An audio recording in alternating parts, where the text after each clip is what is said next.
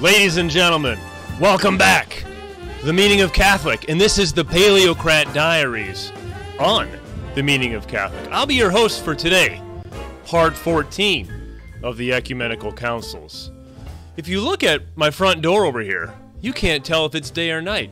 What do I have in my mug? I'm not telling. Coffee? Maybe. Bourbon? Maybe. Maybe both. it's good to be back. I had to take a few weeks off. We had some illness running through our family, through our whole parish, as a matter of fact.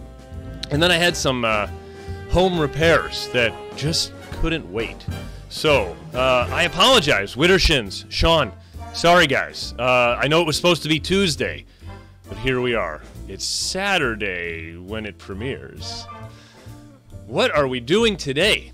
Well, as Tim mentioned in part 10 of Pope Benedict Vindicates the Trads, little hat tip to your boy. We're going to be looking at the lead up to the Third Council of Constantinople. This is, in fact, part 14. And we try to view things, just like uh, Senor Flanders said, from a historical perspective, so that when we evaluate the councils as ontological realities, we've got all the information. It is utterly ridiculous to say that every council was entirely pristine and all of the bishops there were just such well mannered gentlemen and shepherds leading their flocks. I think we know better. We know better. And that's my, my, my goal here is to pull back the curtain a little bit, to reveal the inner workings, right? I thought maybe it would be more theological, but it's turning out to be a lot more historical. It's kind of neat. Anyhow, I should be quiet. Well, about this part, anyways. Let me turn the awesome music down. I take a sip of my mystery beverage. Hmm. I'm going to locate my outline. There it is. If you're hearing background noise, I apologize. Heavy rains going on right now. Heavy rains. Uh, you may not be hearing it. I, I, I can't tell. Anyhow, so where did we leave off? I believe I left you in somewhere maybe in the late 650s, looking at Emperor Constans II's treatment of Pope Eugene, or his threats rather, to Pope Eugene, and to Saint Maximus the Confessor. Now, Eugene died before Constans could really do anything to him, and that was in June of 657. Maximus, however, did not escape the wrath of this eh, pretty wicked emperor. Right? Uh, from what I read, he took everything personally. He thought if you were opposed to his imperial policies, that means you were attacking him as a person. And he was also very egotistical, maybe a little bit narcissistic. And so he just thought everything he does was perfect and pure, and if you're not in agreement with me, you're the problem here. So when Maximus stood up to him, doctrinally speaking, politically speaking, well, Maximus had to face some consequences. In 656, he's drugged back to Constantinople, Constantinople for a trial. Now, this would be similar in nature to the trial of Pope St. Martin who they they kidnapped him basically, brought him to Constantinople, trumped up some charges, and said, "Ah, we're condemning you because you sent a bunch of money to the Arabs and you assisted this guy uh, Olympius who was going to take over the empire. This was an insurrection." Martin knew right away that this is not about any of that stuff because that's made up. And Maximus was the same. They said, "Well." You defy the emperor by supporting a usurper, an insurrectionist. He says, um, show me. When did I do this? Oh, years ago in Africa. You, you supported a man and you wrote a letter and you said that he should take the throne. And Maximus says to his accusers, Make with the letter. Show me, and I will gladly admit to my wrongdoing. Well, naturally, they couldn't. They try to convince him by using mm, veiled threats, pressure, right? So the fake charges didn't quite work. Well, Maximus, don't you value peace? Why can't we all just get along? What's the big deal about this monothelitism? Why can't we just say one will, two wills? Who cares? Don't even talk about it. Maximus knew that to remain silent about the truths of the gospel was to betray Christ. You can't have peace at the expense of betraying our Lord. And this great saint stood by his convictions. So all these tactics, they were ineffective. He remained steadfast. Maximus was not sentenced to death, but rather exile. But exile after he had been mutilated. They cut off his right hand and they attempted to cut out his tongue. That wasn't very successful. His tongue somehow healed, perhaps miraculously, and he was still able to speak. But his right hand, why would they do that? So he could no longer write brilliant theology. So they tried to get him, tried to keep him from reading, writing, speaking, and promoting what we now know is the Orthodox faith. This punishment is how he earned his name, the Confessor, St. Maximus the Confessor, because he confessed the faith in the face of what could have been martyrdom. He was exiled to the Caucasus and died in 662 AD. Now, around this time, Martin's gone, Eugene is gone, Maximus is out of the picture. There's a new pope in Rome, by the way, since 657. Uh, actually, a pretty worthy successor of Peter. His name is Vitalian. Uh, he reigns from 657 to 672. In the beginning of his reign, he's a bit moderate, right? A little more conciliatory toward the emperor Constans II. He's seen what's happened to his predecessors. He clearly values his life. Constans, uh, in the early 660s, wants to move his administration from Constantinople to somewhere in Italy, possibly Syracuse in Sicily, which was a, a, Byzantine territory at the time. He stops in Rome in 663. Now, if I were Pope Vitalian, and here comes Constans, the guy who roasted Martin, roasted Maximus, and would have done so to Eugene had Eugene not died, I might be a little nervous. Maybe. But apparently, the visit was rather pleasant. Vitalian and Constans got along pretty well. Again, the Pope was conciliatory toward him, and Constans returned the favor by taking all of the copper off of the buildings of Rome and shipping it back to Constantinople. Could you imagine that? They're having a big parade, they're walking through the streets. Wow, it's really raining out there uh, Vitalian and Constans maybe on horseback, just waving, maybe in a chariot being pulled along. And then behind them, he's like, Don't forget, get the gutters. Get those tiles off of that roof over there. And then the people of Rome, like, Wait, what's he doing? Why is he? But what about the. He's the emperor. I guess he can do what he wants.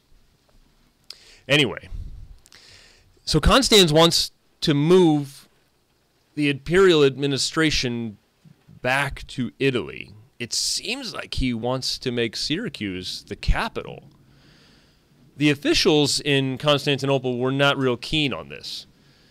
For whatever reason, Constans left anyway, but they, the officials in the current capital, Second Rome, they detained his wife and children. They detained his family. And Constans didn't punish them. Hmm. Which perhaps uh, one professor, uh, Richards, Jeffrey Richards, sees this as proof that Constans did, in fact, want to move the capital, and proof that there was significant enough resistance that he knew he wouldn't be successful. So he didn't even try to argue against bringing his wife and kids to Italy. Right? Again, not a real awesome guy. Did he even miss them? We don't know. We hope he did. Years go by. Constans living in Italy. In 668, after five years or so of pretty heavy taxation, right? Theft of precious metals, uh, probably some micromanaging in there. Constans's number was up. He was taking a bath one day, getting all sudsy, right? And evidently, he got some soap in or near his eyes, couldn't quite see, and his attendants took this opportunity to beat him to death with a silver bucket. Maybe not exactly fair. I mean, the man was presumably nude and he couldn't see. You know, when you get soap in your eye, it kind of burns a little. You'd be like, Can you help? Can you give me a towel? Bam! Ah! Ugh. I don't know what to say about that. Well, he died, naturally, and Mezesius, one of the conspirators, perhaps the one wielding the silver bucket, he proclaims himself emperor. Now, remember Pope Vitalian, initially conciliatory toward Constans II, a fairly moderate pope and a good man, as far as I can tell. He persuaded the people of Rome not to support Mezesius, the usurper, not to take up arms with him and rebel against the lawful emperor who would be the son of Constans II, the, the boy he left back in Constantinople, and this is Constantine IV. If you're a very observant or perhaps astute listener of this series, you'll notice that last time I mistakenly said Constantine IV a couple of times when I should have said Constans II. Oh well, Constans is dead now, so I don't feel too bad about it. Constantine IV, emperor, gathers an army and makes his way to the Italian peninsula. He sails from Constantinople, but by the time he arrives, Mezesius is dead, and the rebellion had been put down. In large part due to Pope Vitalian's influence. Again, he persuaded the Romans don't do this. We have a lawful heir to the throne. We don't need another civil war. So the political trouble is ended for now. The theological trouble, however, remains. Vitalian, as I mentioned, he died just a few years later in 672. The next pope, Adeodatus, pope from 672 to 676, uh, he and Vitalian, in succession, had each refused communion with the successive patriarchs of Constantinople on account of their unorthodox statements of faith. Uh, I, I mentioned this before, probably several times, that when a pope or patriarch was elected, they would circulate a profession of faith, as it were, to let everybody know here's who I am, I've been elected, here's what I'm all about. Well, the word they were receiving in Rome from the patriarchs in Constantinople was not impressive. And the popes did not enter into communion with these men. They leaned monothelite and they didn't recant. At one point, Theodore, the patriarch of Constantinople, even moved to take Vitalian off of the diptychs, right? This is tantamount to excommunication. It would be a schismatic thing to do, to take the pope out of the liturgy. Whoa. And he wanted, Theodore wanted to put Pope Honorius back on. Honorius will come up again in, in a short while. Constantine IV rejected this idea.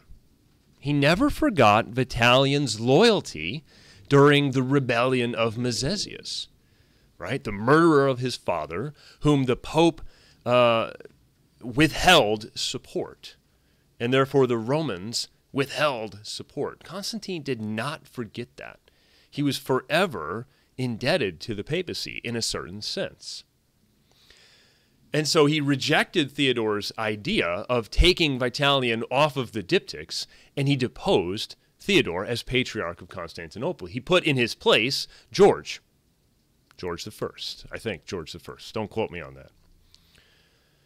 At this point, Constantine has reason, pretty good reason, to reconsider this um, policy, the imperial policy of silence regarding the Monothelite heresy.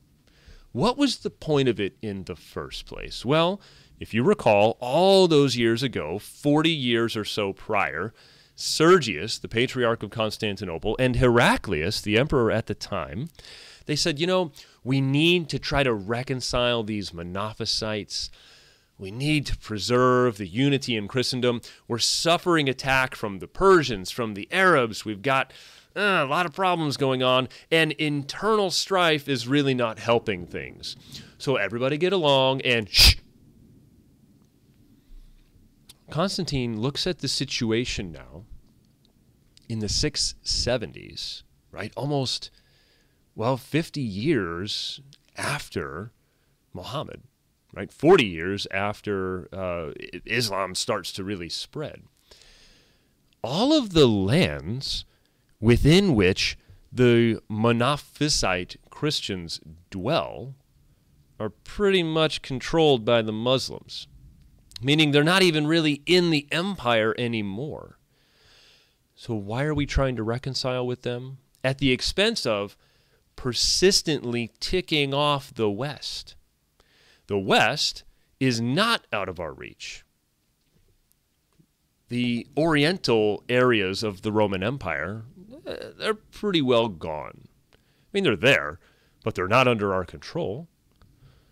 So to bring them back into imperial unity on matters of doctrine doesn't make a lot of sense. So maybe we can abandon this policy of silence regarding the Monothelite heresy. And uh, as a secondary concern, um, maybe it's actually heresy. Uh, maybe we shouldn't be saying it anyway, regardless of the political concerns. I have to imagine, as much as I like Constantine IV, that that was a secondary concern, and that the unity of the empire, the stability, the strength, right, civil, uh, avoiding civil wars and, and things of that nature, I have to imagine that was the primary concern. All right. Uh, covered that, covered that. Boom. Here we go. Constantine the Fourth took it upon himself to write to the Pope. Now, Adeodatus had died in 676. The man to whom Constantine wrote was a man named Donus. Okay, Donus was Pope for a couple of years, eh, almost two years. And he suggests, you know, Holy Father, we need a council. We need East and West to come together and let's talk about this uh, monothelitism and let's let's hash it out. Let's see where orthodoxy lies, and then we'll do that.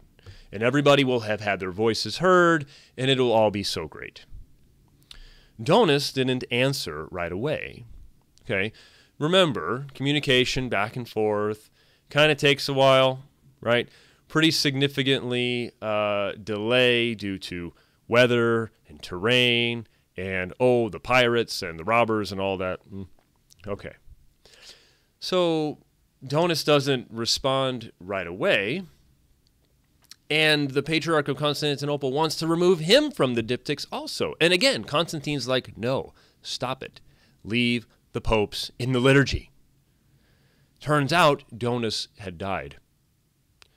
Agatho, Saint Agatho, he was now pope since Donus's death in 678. It's Agatho who responds to the letter to Constantine IV. He very much agrees to a council, but he wants to convene local synods in the West first. He wants to gauge the disposition of the Western bishops vis a vis monothelitism. In 680, a lot of these synods had met. One uh, significantly, one in Milan under uh, I forget the fellow's name. I believe he was the Archbishop of Ravenna. Could be wrong about that. And another one under Patriarch, excuse me, Archbishop Theodore of Canterbury took place in Hethfield in England. It's unfortunate that Theodore of Canterbury couldn't make it to the council. He was uh, evidently a very brilliant theologian, and it's a shame that he couldn't make the journey. Nonetheless, so you have these significant local Western synods all sending to Rome their findings, as it were. What is the apostolic faith? And they all agree that monothelitism is not it. That Christ has two natural wills a divine will and a human will. All of the bishops in the West agree that Scripture and the fathers attest to this. One person, two natures, two wills. This, I might add, this is how synodality is supposed to work. Okay? Uh, bishops, what's the faith? Okay, thank you. Yep, that's what we thought. Check. Simple as that. Simple as that. So Agatho responds back to Constantine the Fourth he writes a very strongly worded letter. He is sure to explain that the Catholic faith is that Christ has two natural wills. Again, as I just explained, a divine will, a human will, and Agatho, Saint Agatho, venerated in the East and the West. He says something rather shocking to modern ears he says the apostolic see has never swerved from the true faith. I'm paraphrasing, but that's the gist of it. Agatho makes the claim to Constantine IV that the See of Rome has never swerved from the true faith. Hence, the image on the thumbnail. Now, did Agatho have a memory problem? What about Honorius? Hmm. Well, we'll see. Agatho, uh, in fidelity to his promise to send legates, he sends a number of them, as a matter of fact, to the capital to have this discussion that Constantine IV wanted to have. And apparently, uh, I didn't realize this at first, but upon research, the council wasn't intended to be ecumenical, but it turned out the three patriarchates in uh, Mohammedan lands also sent delegates or were personally present. So now we've got all five patriarchs present or represented. Okay, Constantine the Fourth is like, whoa, ecumenical, yes, let's do that. Uh, let's see. So Antioch they sent their patriarch, Macarius. Jerusalem and Alexandria sent legates.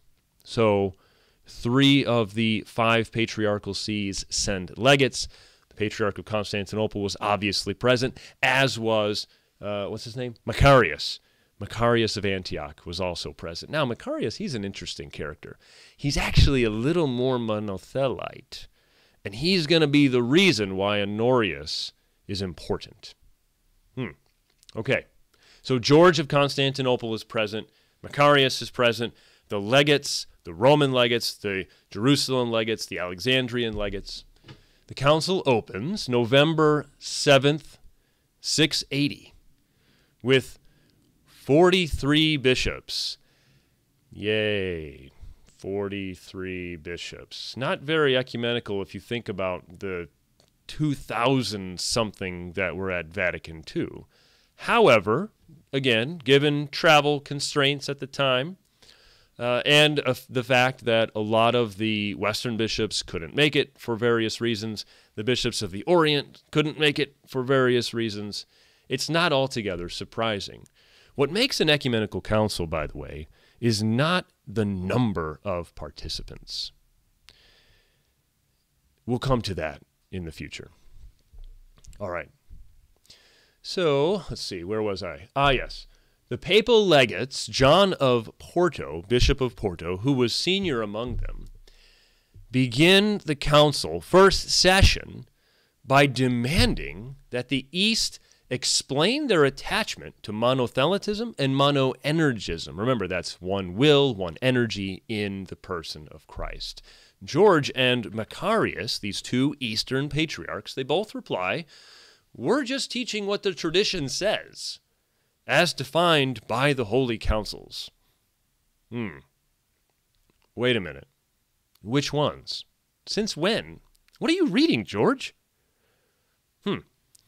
In the first four sessions of Constantinople III, all of the previous acts, all the acts of the previous councils were read aloud. Okay?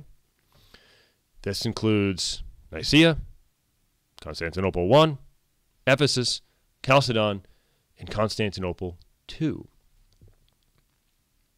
Now, in this batch of documents, there was allegedly a letter, well, there was a letter, allegedly from Sergius, the Patriarch of Constantinople, way back in the day, to Pope Vigilius. Remember, he died in 555. And this letter allegedly supports monothelitism. And the evidence was brought forth that, well, Vigilius accepted it. Rome accepted this a long time ago. I don't know why you guys are making a big deal out of it now. But upon scrutiny, it was determined that the letter was a forgery, it was fraudulent. So by the time they get through, the council fathers, they get through these first four sessions, it's not looking real good for the monothelite heretics, people like Macarius of Antioch. In the fifth and the sixth session, Macarius produces a dossier of patristic texts that support what he's saying, or so he claims. These documents were sealed up in the presence of the imperial representatives and taken away for later review. Okay? The imperial commissioner said, "Okay, you brought what? and you've got a bunch of patristic. Okay, yeah, we'll we'll take that. Hang on, let me just wrap this up. Some kind of who knows what. And we're just going to set it aside. We'll get to that later. So tell me more, Macarius. Tell me about this apostolic monothelitism. We're very interested. Mm. Okay. In the seventh session of Constantinople III, the papal legates, again, Bishop John of Porto, senior among them, produce their own batch of documents, patristic texts, scriptural citations and commentaries, etc., etc., that support what they are saying, right? That support against, or rather, deny monothelitism. These were also sealed. These were also set aside and taken away for examination the eighth session, George of Constantinople, initially maybe a little caught off guard. What do you mean? I've just been preaching the apostolic faith this whole time. Ha ha. He says, You know, I think the legates from Rome are correct. I'm pretty sure that this is the true faith. Hmm. George's suffragans concurred and they restored Agatho's name to the diptychs. Apparently, somebody took it off. Macarius, however, would not admit it. He dug in deeper, right? This is part of the problem with heretics. After being corrected, what truly makes them sinful, obstinate heretics is that they're not docile to the Holy Ghost. They dig their heels in. They make their stand, right? I keep thinking of Martin Luther. Here I stand, blah, blah, blah. Good for you, big guy. Good for you. If only you would have submitted yourself to the judgment of the church. Macarius, the same way. He stated he would rather be torn to pieces and thrown into the sea than to admit two wills in Christ That's pretty intense. That's pretty intense. And if that were orthodox, that would be laudable, right? Wow, this guy wants to stand up for, hmm, yeah, not quite. Why did he think this? Why was he so stubborn? Well, he thought it was Nestorian to say two wills in Christ, and Nestorius was condemned at Ephesus. Hmm. In the ninth session of this council, it was determined, remember, they took those documents away for scrutiny. They had them sealed up, and they had uh, neutral parties examine them. The Roman dossier, the Antiochene dossier, and turns out, wouldn't you know it, Macarius and his associates falsified or significantly twisted the patristic sources that they cited. They were taken out of context, they were given meanings that were contrary to what had been handed down from all ages. The imperial archivists compared the Antiochene dossier to their own archives. They're like, wait, he, Saint so and so said that. Wait a minute, hang on, check that. No, he didn't. Wait, this passage means what? Hold on. No, it doesn't. What are you doing here, Macarius? Proof text, proof texting, twisting, manipulating, forging. Terrible. The council then removes Macarius's faculties. They depose him as patriarch of Antioch and his little buddy Stephen. Sorry, Stephen. In the 10th session, the Roman dossier is determined to be authentic, orthodox, and legitimate. Accurate. Their papers say this, our archives say this, they claim this is what it means, this is what this means, everything coheres, it's remarkable. That's how tradition works. You don't have to make it up. You don't have to make it up. You look to the past. What did that mean? Okay, well, there we go. That's what it means. Not to say doctrine doesn't develop. Of course it does. But it doesn't contradict. And that's the key. The next two sessions, the 11th and 12th, were dedicated to the trial, the official trial of Macarius and his little buddy, Stephen, Stevo. His personal writings were brought forward. Some of them were deemed to be heretical. And again, Macarius is deposed as the patriarch of Antioch. A man named Theophanes is selected to replace him. Right? He's unrepentant to the end. As far as I can tell, he and Stephen did not reconcile with the church. In the 13th session, here's where it gets interesting. So apparently, part of Macarius's argument was that, well, Rome teaches that there's only one will in Christ. See, I have here a letter from a certain Pope Honorius.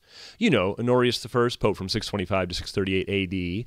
He kind of wrote a little bit to Sergius, the Patriarch of Constantinople. You remember. And he kind of says one will in Christ. Hmm. What do you say to that, Roman legates?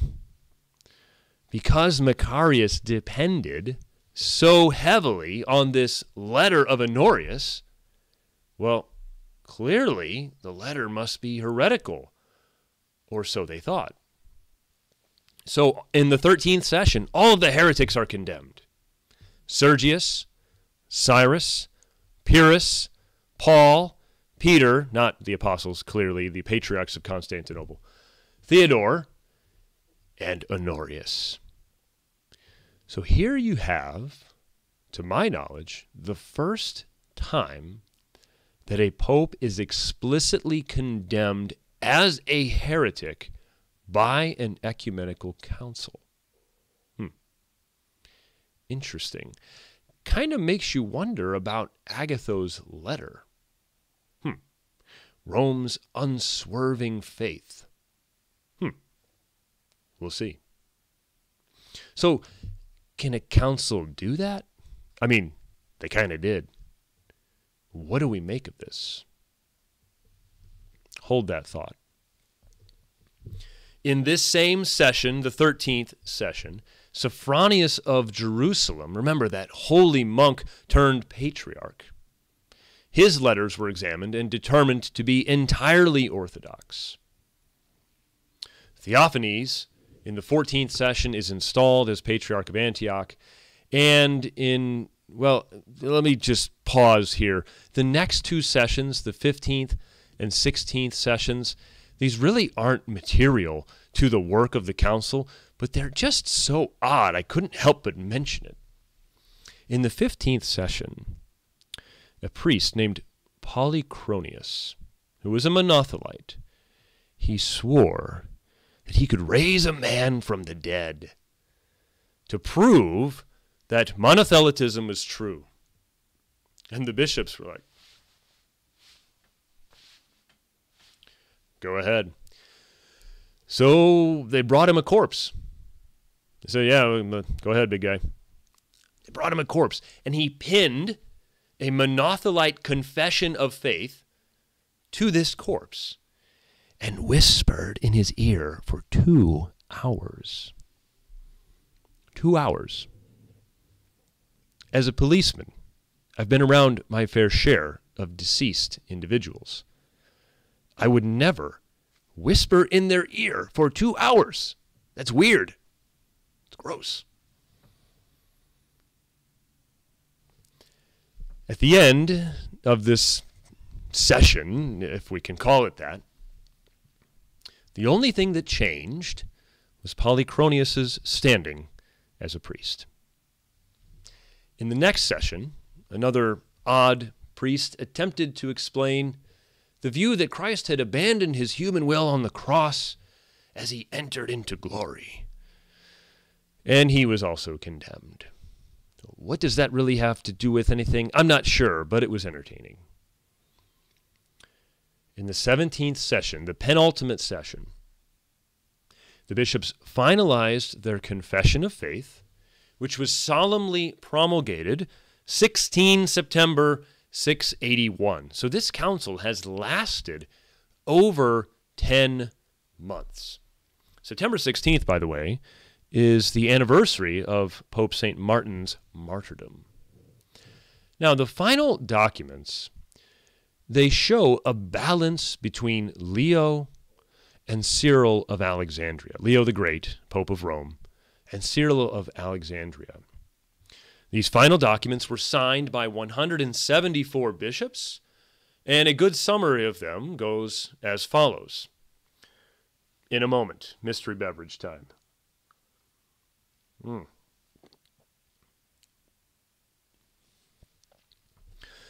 So, first, they exchanged some pleasantries regarding the orthodoxy of the emperor, oh, most pious Christian Lord, uh, blah, blah, blah. Next, a solemn acceptance of the previous five general councils, uh, which are previously named in this episode. Then, explicit adherence to the creeds of Nicaea and Constantinople I. Then, the list of heretics Sergius, Cyrus, Pyrrhus, Peter, Paul, Theodore, and Honorius. And I think they threw in all the others too Arius and Apollinaris and Nestorius and Dioscorus and blah, blah, blah. Okay. The legates, they didn't raise an issue. At least it doesn't seem that they did.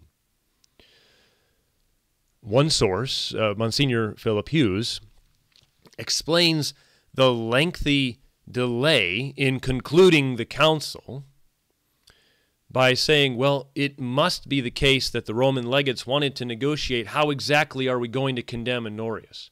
What are we going to say? What are we going to say that he did? Right? We don't want to lie, but we also don't want to just blanket the See of Rome unnecessarily. Now, it so happens that Agatho died in March of 681, six months before the council concluded. And the next pope, Leo II, before he was confirmed, it seems that Constantine IV wanted to ensure that Leo was going to play ball the way Agatho was playing ball. Leo, I need to know that you're on board with the work of the council, that you're not going to pick it up and run with it in a different direction, right? We've had popes die in the midst of councils before, right? Uh, John the 23rd opens Vatican II, he dies, Paul VI finishes it out. People would disagree. Some say yes, some say no. Did Paul VI accomplish the desires of John the 23rd? Well, it's that same situation in the 680s. Is Leo going to pick up where Agatho left off? Or is he going to go his own way? So Constantine wants to make sure that Leo is going to support the council to condemn monothelitism, and that might have to include Honorius, because we kind of deposed the Patriarch of Antioch over it, and he kept citing Honorius. So if we just leave that out there, it's a chink in the armor. We can't have that. So Honorius is on the list of heretics.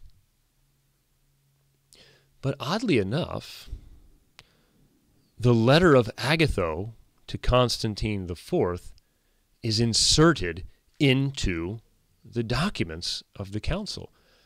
The very one that says Rome has never swerved from the faith. So, in the literally the same council, same bishops, same group of guys, they're like, oh, Pope heretic. Oh, Pope never erred in faith. Or is that what they said? Is it possible that Honorius could be personally guilty in some way and the See of Rome preserved, pristine in the apostolic doctrines? Hmm. There's also in the final documents a rehashing of Leo the Great's tome and the main points therein. And then there's a statement clarifying that there are two wills in the person of Christ. Finally, a statement of Cyrillian Christology. This is a pretty comprehensive body of documentation produced by these 170 something bishops at Constantinople III. And the church is now at peace for a few more years or so it seems. Let me get a time check 42 minutes. A little more. I've got some more to say. I've got more mystery beverage here. Hmm. So, continuing with this historical reality surrounding Constantinople III, remember, I kind of left the question open what makes a council ecumenical. Father Francis Sullivan, S.J., and I'm not ashamed to say it because he's a brilliant man, he says general agreement and ratification by Rome. That's the key. Does Rome accept it as ecumenical? Because you could go through all the councils of the past and what makes one ecumenical and another one not. And the criteria, they're all over the place. Does it have to be everybody represented? Because if that's the case, almost none of the early councils would count. Does it have to be some from the east and some from the west? Well, then that rules out uh, Constantinople 1. Does it have to be summoned by the emperor? No. But what we find is that for every council that is considered ecumenical by the one holy Catholic and Apostolic Church, is that acceptance by Rome. That's what makes a council ecumenical. So we kind of need that. And Constantine knew that. He knew he needed Leo, hence the delay. I need Leo II to sign on to this. Agatho had died. Leo took his place. Leo ratifies the conciliar decrees and the condemnations. Apparently, however, a little side note here Macarius, the Patriarch of Antioch, he goes to Rome. He appeals his deposition. Hmm. Why wouldn't he go to any of the other patriarchs? Why wouldn't he go to George? Why wouldn't he go to Jerusalem or Alexandria? He goes to Rome. he must have known something about Rome's primacy, perhaps about Rome's jurisdiction. Anyhow, Leo said, um, Yeah, you're still condemned. Sorry, bro. And he and Stephen and whoever else went with them, except for two, there were two who did re- actually recant, and they were admitted back into communion with the church. Other than those two, whose names we don't know, everybody else was confined to a monastery. Kind of, actually, not a bad sentence. If I were going to be exiled and, and deposed and, and punished in some way, confining me to a monastery may not be the worst thing after all, right? I guess it depends. Now, Leo, Leo II, when solidifying the condemnation of Honorius, he's going to give this thing its final shape. He writes to the emperor and he makes a certain statement. Uh, in this letter, naturally, of course, it, it can't just be easy. I'd like it to just be easy. Oh, this is what he said. This is what everybody thought. Oh, great. Everything was great. There's two versions of the letter, and they don't say the same thing. there's a Latin version, and there's a Greek version. Okay.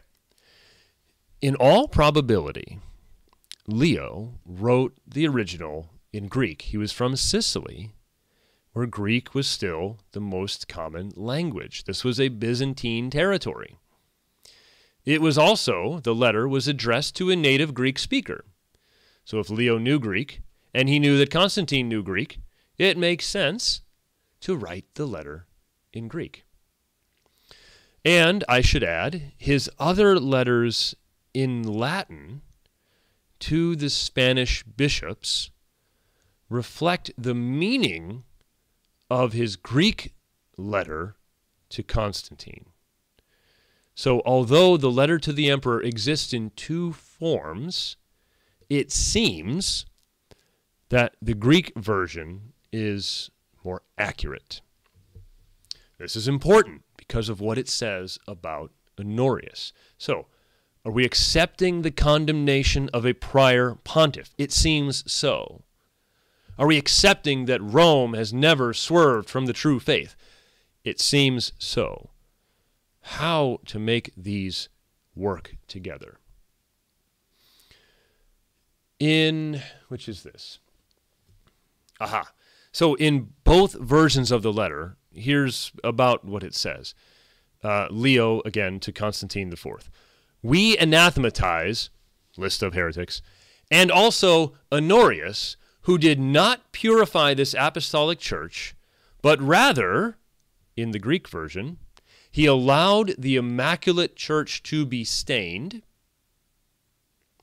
or in the Latin version, but rather attempted to subvert the Immaculate Faith.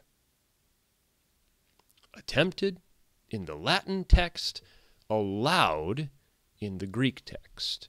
The Greek text is more consonant with Leo II's other letters to Western bishops probably wrote it in Greek for the reasons I gave a moment ago. Why the discrepancy? Allowed, attempted. These are clearly not the same. One is very passive, one is sort of active. I'm attempting to subvert the Orthodox faith. That makes me a heretic. I'm allowing someone or something to stain the Immaculate Church that makes me perhaps negligent? Am I materially or formally a heretic, though? Uh, debatable. Debatable. Does it matter? Kinda. Are we going to say that Honorius was a formal heretic and that Rome has never swerved from the apostolic faith? How could you say that? it seems clear that Leo's ratification of Constantinople III and his condemnation of Honorius is more along the lines of negligence. You allowed this perfidious doctrine, this pernicious error, to spread. You did nothing about it. We examined Honorius's letter uh, rather briefly, but we did, in a previous episode. And it seems that Honorius and Sergius, who was patriarch of Constantinople at the time, were not talking about the same thing. So, I am quite comfortable saying that Honorius was not, in fact, personally heterodox. Negligent, culpably negligent for defending the faith? Yes, clearly. But not a heretic the way Sergius and the others were. Hmm. After Leo II approves the text of the council and the canons, he makes copies, or probably not him, but his scribes make copies and send them around to all the Western bishops for them to sign.